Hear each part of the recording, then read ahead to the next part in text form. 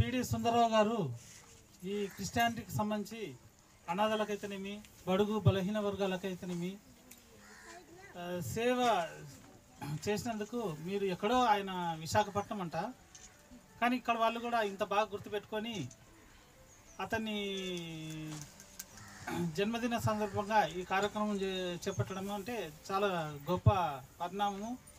ఎందుకంటే ఎక్కడో ఆయన వైజాగ్ ఇక్కడ మన వాళ్ళం స్మరించుకుంటున్నామంటే ఆయన సేవ ఎటువంటిదో కూడా తెలి తెలియజేస్తున్నాము. ఈ సభ ముఖంగా పిడి సుందరరావు గారికి డెబ్బై ఒకటవ జన జన్మదిన శుభాకాంక్షలు తెలియజేస్తున్నాను. ఆ తర్వాత కార్యక్రమాలు మనము జరపాలా.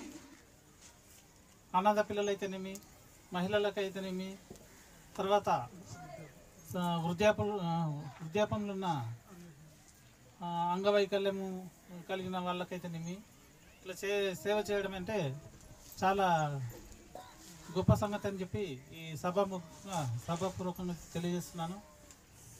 ఒక మంచి కార్యక్రమం నేను అనుకోలేదు. ఇట్లా బెడ్షీట్స్ ఇవన్నీ ఇస్తున్నారు భోజనం కూడా పెట్టుకున్నారు అని చెప్పేసి.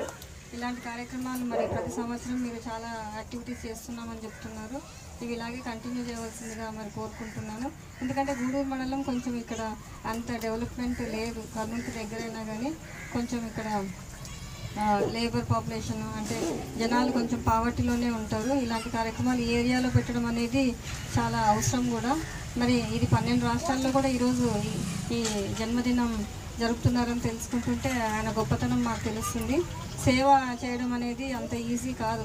అంటే సేవా కార్యక్రమాలు చేయాలంటే కూడా ముందుకొచ్చి ఆలోచనతో అందరిని మొబిలైజ్ చేసి ఈ కార్యక్రమాన్ని ఇట్లా చేస్తున్నారంటే దానికి ఎంతో సహనము ఓపిక అవన్నీ ఉండాలి.